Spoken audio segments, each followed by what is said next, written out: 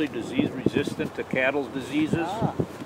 And Huh. they're, they're, they're different. They're browsers and grazers. They just won't eat grass. They'll eat twigs and stuff like that. Huh. They're Nope. just such a unique animal. You can train them to use them for riding or pulling or pack animals. They'll carry 300 pounds on their back. Huh. They're more sure-footed than a horse. Up in Townsend. 19 yaks. Yep. all right.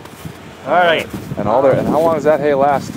That should last all winter. All winter. That eat one percent of their body weight a day. Huh. So if you got an 800 pound yak, it, weigh, it eats 800 pounds of, or eight pounds of hay.